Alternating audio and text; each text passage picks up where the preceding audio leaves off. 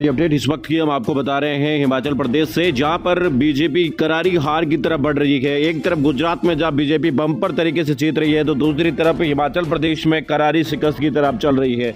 एक तरफ़ हिमाचल प्रदेश में कांटे की टक्कर देखने को मिल रही थी, लेकिन जैसे जैसे समय बढ़ा वोटिंग आगे बढ़ी वैसे वैसे ही कांग्रेस पार्टी स्पष्ट बहुमत की तरफ़ यहाँ बढ़ती हुई नज़र आ रही है। इस वक्त कांग्रेस पार्टी उनचालीस सीटों पर आगे चल रही है तो बीजेपी मात्र 26 सीटों पर ही आगे चल रही है, जबकि तीन अन्य उम्मीदवार भी आगे चल रहे हैं। यानी कि हिमाचल के अंदर जो सरकार बदलने का ट्रेंड है, वो इस बार भी चलता हुआ नज़र आ रहा है, यानी पाँच साल बाद, हर पाँच साल बाद सरकार यहाँ हिमाचल में बदलती है।